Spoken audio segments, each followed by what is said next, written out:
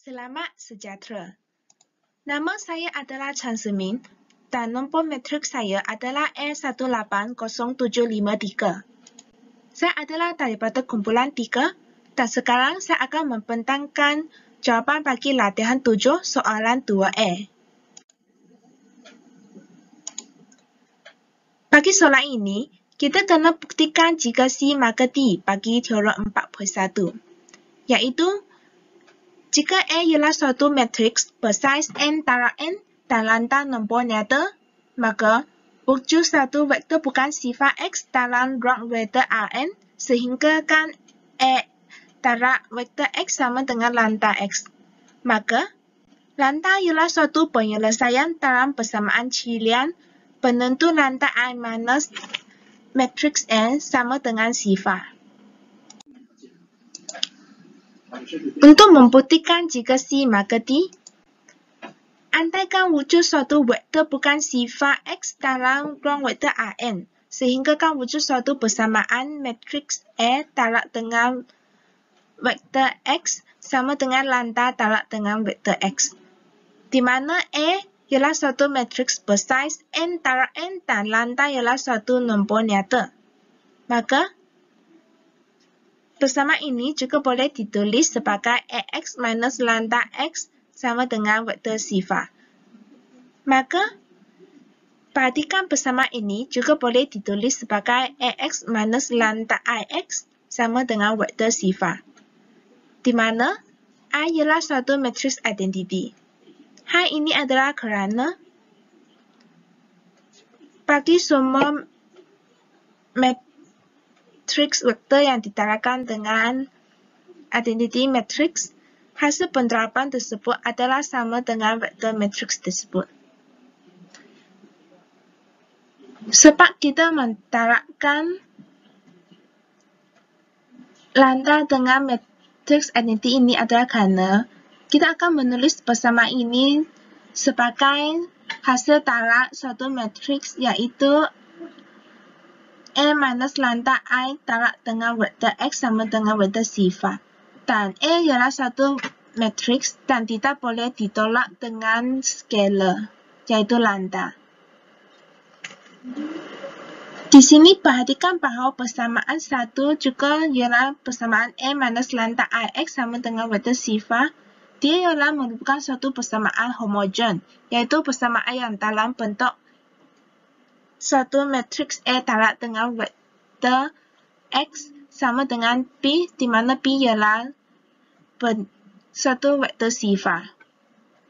Oleh kerana vektor X bukan sifar, maka persamaan homogen ini mempunyai penyelesaian tak remeh. Maka, matriks A minus lambda I adalah suatu matriks bukan songsang dan merupakan satu matriks singular. Maka, perhatikan bahawa penentu bagi matriks ini adalah persamaan dengan sifar. Jika persamaan ini dikembangkan, maka suatu persamaan polinomial dalam sebutan lambda akan diperoleh. Maka, persamaan penentu A minus lambda I adalah suatu persamaan cilian bagi A dengan penyelesaian lambda. Maka, pernyataan jika C maka D bagi teorem 4.1 telah berjaya dibuktikan. Pembuktian telah tamat. Terima kasih. Assalamualaikum dan salam sejahtera. Nama saya Nur Amira binti Halim, wakil daripada kumpulan 3 akan membentangkan soalan 3B. Soalannya adalah, pertimbangkan penjamaan berikut. Dapatkan hasil penjamaan ini bagi dua nilai berbeza. Contohnya 1122 di dalam R2 dan hasil tambahnya. Contohnya 11 tambah 22 bersamaan 33 di mana 33 berada dalam R2. Lakarkan nilai-nilai ini dalam gambaran penjamaan dari domain kepada kodomain seperti yang dibincangkan dalam kelas. Tentukan sama ada penjamaan linear atau tidak. Soalan B adalah T memetakan R3 kepada R2 di mana T X Y Z bersamaan X tambah Z Y. Andaikan vektor U bersamaan 1, 2, 3 dan vektor V bersamaan 4, 5, 6 bagi vektor U dan vektor V di dalam R3. Maka TU bersamaan T123 bersamaan 1 tambah 3, 2. Dan kita akan memperoleh TU bersamaan 42. Bagi TV pula, TV bersamaan T456 bersamaan 4 tambah 6, 5. Dan kita akan memperoleh TV bersamaan 10, 5. Maka TU tambah TV bersamaan T123 tambah T456 dan kita akan memperoleh 14, 7. Seterusnya, T U tambah B bersamaan T123 tambah 456 bersamaan T579 dan kita akan memperoleh 14, 7. Daripada sini, kita dapat simpulkan bahawa TU tambah TV bersamaan juga dengan TU tambah B. Maka U tambah B bersamaan 123 tambah 456 bersamaan 579. Kemudian, andaikan satu pemalasi berada dalam R iaitu nombor nyata, maka CU bersamaan C123. TCU bersamaan TC123 bersamaan juga dengan CT123. Seterusnya, gambar raja di bawah menunjukkan T memetakan V kepada W di mana V bersamaan V di dalam R3 dan W di dalam R2. Gambar raja di bawah uh, memetakan daripada domain kepada kodomain. Yang pertama, U bersamaan 1, 2, 3 dipetakan menjadi 4, 2. Kemudian V bersamaan 456 dipetakan menjadi 105. Seterusnya U tambah V bersamaan 579 dipetakan menjadi 147 dan kita dapat lihat bahawa T U tambah V bersamaan juga dengan T U tambah T V. Dan akhir sekali satu pemalasi didarat dengan vektor U bersamaan C123 dan dipetakan menjadi CT123 dan kita dapat lihat bahawa TCU bersamaan juga dengan CTU. Satu, pemal, satu penjemaan dikatakan adalah penjemaan linear apabila ia memenuhi penutupan terhadap penambahan dan penutupan terhadap pendaraban. Maka untuk uh, membuktikan ia adalah penjemaan linear, kita boleh membuktikan secara am. Di mana andaikan vektor U dan vektor V di dalam R3 dan ada satu pemalasi di dalam R iaitu nombor nyata. Maka U bersamaan U1, U2, U3 dan V bersamaan V1, V2, V3. Maka TU bersamaan U1 tambah U3, U2 dan TV bersamaan V1 tambah V3, V2. Maka T U tambah V bersamaan T U1, U2, U3 tambah V1, V2, V3. Dan kita akan memperoleh U1 U tambah U3, U2 tambah V1 tambah V3 V2 dan kita dapat simpulkan bahawa ia juga bersamaan dengan TU tambah TV. Maka T mengekalkan penutupan terhadap penambahan. Seterusnya, andaikan satu pemalasi di dalam R iaitu nombor nyata, maka CTU bersamaan CT U1 U2 U3 bersamaan C U1 U2 U3. Kemudian TCU pula bersamaan T, C, U1, U2, U3 bersamaan C, T, U1, U2, U3 bersamaan C, U1, U2, U3 dan kita dapat lihat bahawa T, C, U bersamaan juga dengan C, T, U. Maka, T mengekalkan penutupan terhadap pendaraban skala. Oleh kerana T memenuhi kedua-dua aksiom, maka T ialah penjemaan linear. Sekian, terima kasih. Salam sejahtera kepada dan rakan-rakan sekalian. Pada hari ini, saya dari kumpulan 3 akan membentangkan soalan 1J. Soalan pertama, pertimbangkan penjelmaan berikut dan tentukan sama ada penjelmaan linear atau tidak. Jika penjelmaan linear, dapatkan inti dan julat. Tentukan sama ada penjelmaan linear satu ke satu. J. T6 gubah dengan T2 dan T2 gubah dengan T6. T2 ialah pemetaan dari nombor nyata kepada nombor nyata kuasa 2 dan fungsinya adalah x 2x. Dan T6 ialah pemetaan dari matriks 2 darab 2 kepada nombor nyata dan fungsinya ialah suruhan A. Jawapan I, perhatikan T6 iaitu matriks 2 darab 2 yang memetakan kepada nombor nyata dengan fungsi suruhan A. Um, andaikan A bersama dengan ABCD dan matriks B bersama dengan MNOU iaitu suatu matriks bersaiz 2 darab 2. Maka kita mendapati matriks T6 sebegitu iaitu A tambah B dan uh, fungsi B ialah M tambah U. Maka kita kena mencari hasil tambah uh, fungsi T6 A tambah dengan T6B iaitu bersama dengan A tambah M tambah D tambah U. Maka kita uh, maka kita dapat T6 fungsi T6A tambah B bersamaan dengan T6 ABCD tambah dengan MNOU. Maka bersamaan dengan M A tambah M tambah D tambah U. Yang bersamaan dengan T6A tambah T6B. Kita mendapati bahawa fungsi pemetaan A tambah B bersamaan dengan uh, hasil tambah pemetaan A dan pemetaan B maka kita dapat menunjukkan bahawa T6 memenuhi aksiom tutupan terhadap penambahan. Pemetaan skalasi dengan matriks A bersamaan dengan T6 bracket C uh, bracket A, B, C, D yang bersamaan dengan skalasi uh, difaktorkan yang menjadikan C, A tambah D. Yang kita mendapati bahawa pemetaan CA bersamaan dengan pemetaan skala C darab dengan pemetaan A.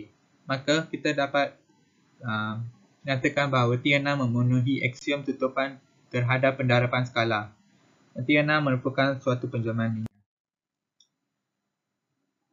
Seterusnya kita perlu andaikan A, AB merupakan nombor nyata dan T2A sama dengan A2A dan T2B sama dengan D2B dan kita kena ha cari hasil tambah dua pemetaan A dan B yang yang bersamaan dengan A tambah B 2A tambah 2B.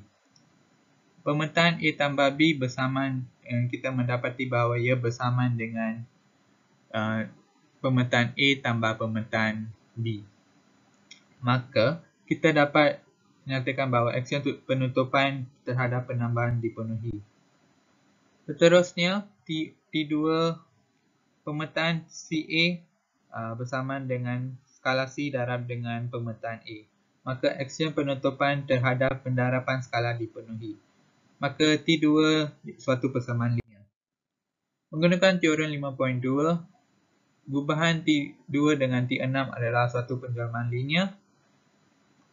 Um, perhatikan T2 merupakan satu pemetaan dari uh, R kepada R kuasa 2 dan fungsi T6 uh, yang memetakan metrik 2 darab 2 kepada nombor nyata.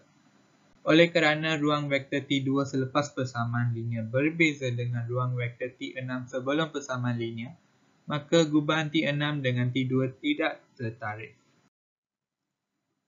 2.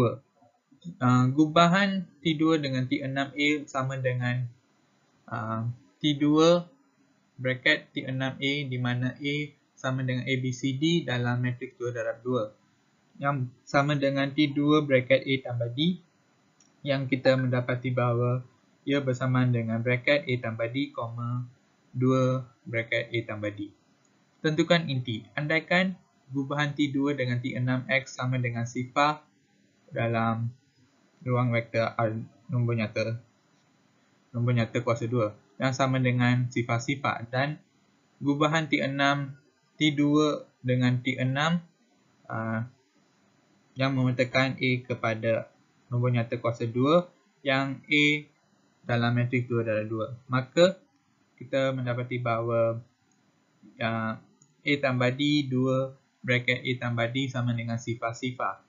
Maka A tambah D sama dengan sifat dan 2A tambah 2D sama dengan sifar uh, yang kerana kita menggunakan uh, comparison.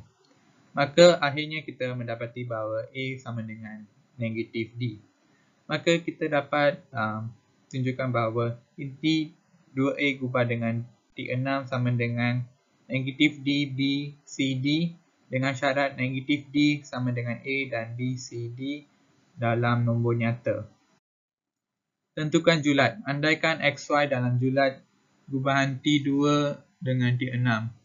Wujudnya matriks A sama dengan ABCD dalam matriks 2 dalam 2 sehinggakan gubahan T2 dengan T6A sama dengan XY. Maka bracket A tambah D, 2 bracket A tambah D sama dengan XY.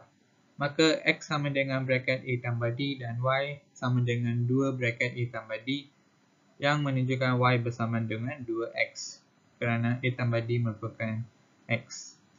Maka kita dapat uh, tulis seperti julat um, gubahan T2 dengan T6 uh, mempunyai julat sama dengan X 2X dengan syarat X sama dengan A tambah D dan A dan pemasukan A dan D dalam matriks A, B, C, D.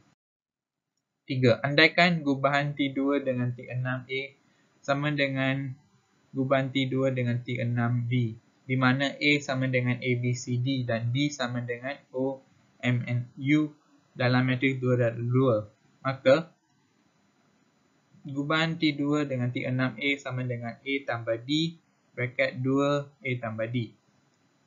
Dan gubahan T2 dengan T6B sama dengan O tambah U, 2 bracket O tambah U.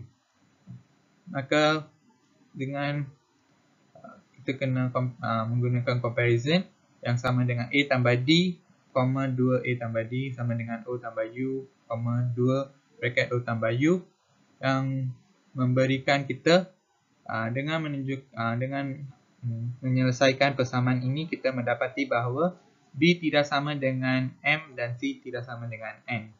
Maka matriks A tidak sama dengan B. Maka gubahan T2 dengan T6 bukan suatu penjelmaan linear satu ke satu. Sekian terima kasih dari kumpulan kami. Assalamualaikum dan salam sejahtera. Nama saya Muhammad Iman bin Mat Saleh dari kumpulan 3 akan membentangkan soalan 1F. Soalan satu, pertimbangkan penjelmaan linear TI V petaka kepada W dan I adalah 1 hingga 6 dan soalan F adalah T6 bersamaan dengan T3 gubah T4 yang mempunyai asas Q bersamaan dengan 1, 1 tambah X, 1 tambah X tambah X square. Soalan 1, dapatkan matriks PRY T6. Matriks PRY T6 asas VW bersamaan dengan matriks PYT 3 asas W gubah matriks PYT 4 asas VW yang didapati daripada teori 5.7 bagi mencari matriks PYT 3 asas W perhatikan T3 P2 petaka kepada P2 dan fungsinya ialah T3PX bersamaan dengan PX tambah 1 yang asas PY-nya adalah BW iaitu bersamaan dengan 1X dan juga X square iaitu W adalah P2 Masukkan asas W ke dalam fungsi iaitu T3 1 bersama dengan 1 dan samakan dengan asas W iaitu bersama dengan 1 darab 1 tambah 0 darab X tambah 0 darab X square. Bersamaan juga dengan X asas WX dan juga X square. Maka kita perolehi bahawa matris PY T3 asas W bersama dengan 111 012 001 bagi mencari matris piawai T4 asas VW perhatikan T4 adalah P1 petaka kepada P2 dan fungsinya ialah T4PX bersamaan dengan XPX yang asas piawainya adalah BV bersamaan dengan 1X iaitu V bersamaan dengan P1 dan PW masukkan asas V iaitu 1 ke dalam fungsi iaitu T4 1 dan kita dapat bahawa bersama dengan X dan kita samakan dengan asas W iaitu 0 darab 1 tambah 1 tambah X tambah 1 darab X tambah 0 darab X square.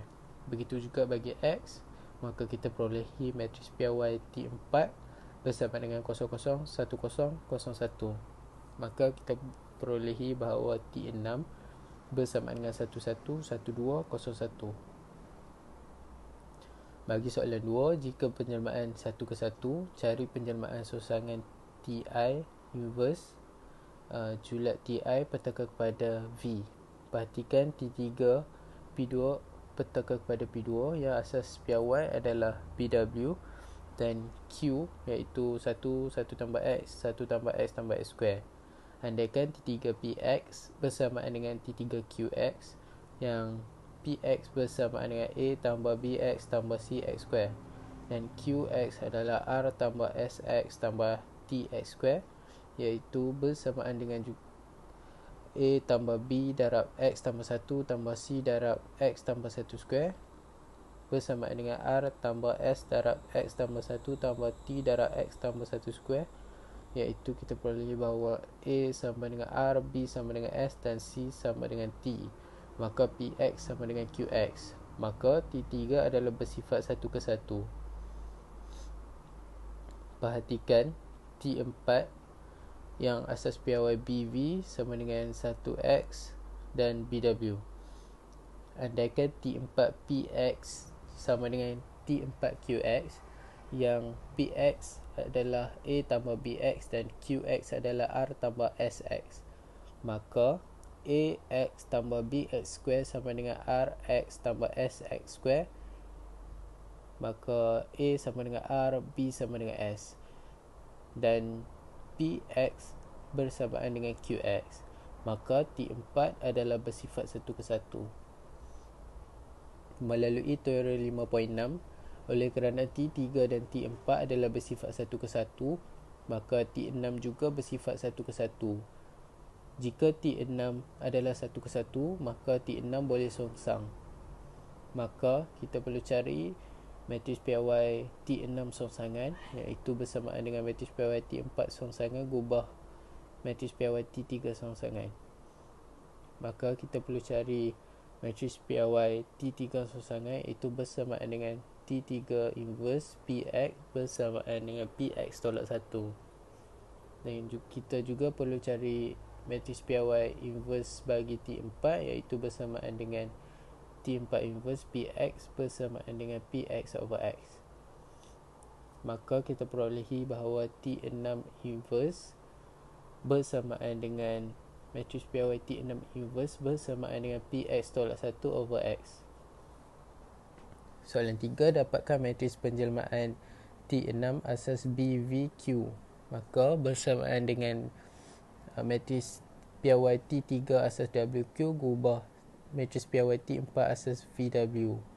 Bagi mencari matris PYT 3 asas WQ, uh, kita masukkan asas W ke dalam fungsi dan akan bersamaan dengan asas bagi Q. Maka T1 akan perolehi 1 iaitu 1 darab 1 tambah 0 darab 1 tambah X tambah 0 darab 1 tambah S tambah S square sama juga bagi asas X dan juga X square maka kita perolehi bahawa matriks PYT 3 bersamaan dengan 1, 0, negatif 1, 0, 1, 1, 0, 0, 1 perhatikan bahawa matriks PYT 4 asas VW bersamaan dengan 0, 0, 1, 0, 0, 1 maka kita perolehi matriks PYT 6 asas VQ bersamaan dengan 0, negatif 1, 1, 1, 0, 1 Soalan 4 bagi form operator linear dapatkan matris penjelmaan T6 asas QW dan T6 asas Q. Andaikan matris PYT 6 asas QW bersamaan dengan matris PYT 3 asas W gubah matris PYT 4 asas QW.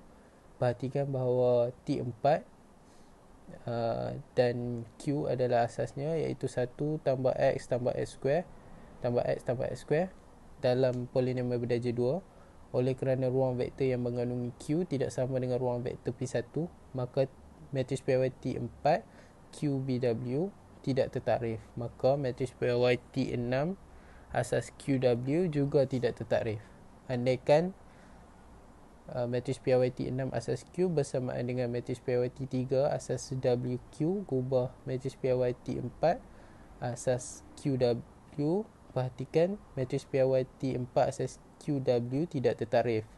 Maka matris PYT 6 asas Q juga tidak tertarif. Sekian, terima kasih.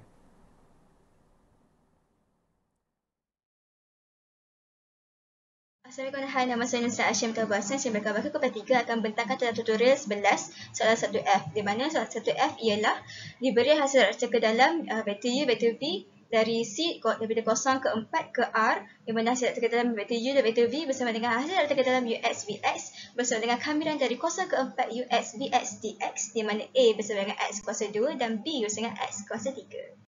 Bagi membuktikan hasil darat dalam bagi satu ruang vektor V, maka kita perlu menunjukkan ia memenuhi empat aksiom iaitu aksiom simetri, penambahan positif dan juga kohomogenan. So untuk bagi uh, aksiom sifat simetri, maka kita perlu menunjukkan hasil tak terkedalah vektor u dan vektor v bersama dengan hasil tak terkedalah vektor v dan vektor u. Seterusnya bagi menunjukkan aksiom penambahan, kita perlu menunjukkan bahawa hasil tak terkedalah vektor u tambah vektor v uh, dan juga vektor z di mana vektor z itu merupakan elemen kepada ruang vektor v maka kita akan perolehi hasil darat teka dalam vektor u dan vektor z tambah hasil darat teka dalam vektor v dan vektor z. Okay, seterusnya kita perlu menunjukkan bahawa ia memenuhi sifat S yang kehomogenan. Okay, diberi hasil darat teka dalam K darat vektor U dan vektor V di mana K merupakan satu nombor nyata, maka kita akan perolehi K darab dengan hasil darat teka dalam vektor U dan vektor V. Seterusnya bagi menunjukkan yang sifat positif, kita mengambil contoh hasil darat teka dalam vektor U dan vektor U maka kamiran daripada kosong ke empat ux kuasa 2 dx lebih besar bersama dengan kosong. Jika kamiran daripada kosong ke empat ux kuasa 2 dx bersamaan kosong, maka ux bersamaan dengan kosong. Seterusnya bagi soalan dua Roman bagi mendapatkan jarak antara vektor A ke vektor B ataupun D dari vektor A ke vektor B ia juga bersamaan dengan norma vektor A terhadap vektor B di mana vektor A merupakan X kuasa 2 dan vektor B bersama dengan X kuasa 3. Maka jawapan akhir yang diperolehi ialah 34.3517. Seterusnya bagi mendapatkan norma bagi vektor A di mana vektor A bersama dengan X punca kuasa 2 ia juga bersamaan dengan hasil darab ke dalam X punca kuasa 2 dan X punca kuasa 2 didarabkan dengan punca kuasa 1 per 2. Ia juga bersama dengan kamiran daripada kuasa keempat X kuasa 2 dan X kuasa 2 dx yang didarabkan dengan uh, punca kuasa 1 per 2. Maka jawapan akhir yang diperolehi ialah 3 per 2 set 5 per 5. Kemudian bagi mencari norma bagi vektor B di mana vektor B bersama dengan X punca kuasa 3, proses sama dilakukan semasa mencari norma bagi vektor A. Maka jawapan akhir diperolehi ialah 128 per set 7. Bagi soalan 3 Roman di mana bagi mendapatkan vektor unit bagi A dan B di mana vektor unit bagi A bersamaan dengan vektor A per dengan norma vektor A iaitu bersamaan dengan 5x punca kuasa 2 per 3 per 2 darab set 5 Manakala bagi vektor unit bagi B iaitu vektor B per dengan norma vektor B bersamaan dengan set 7 darab X per kuasa 3 per 128. Bagi soalan terakhir itu soalan 4 Roman diberi hasil darab teka dalam vektor A dan vektor B bersama dengan hasil darab teka dalam X per kuasa 2 dan X per kuasa 3 maka jika diselesaikan akan mendapat nilai 2048 per 3 iaitu tidak bersamaan dengan kosong. Perhatikan vektor A dan vektor B berortogon dalam ruang vektor V jika hasil darab teka dalam vektor A dan vektor B bersamaan dengan kosong. Maka vektor A dan vektor B tidak berortogon dalam ruang vektor V kerana hasil darab teka dalam vektor A dan vektor B bersamaan dengan 2048 per 3 iaitu tidak bersamaan dengan kosong.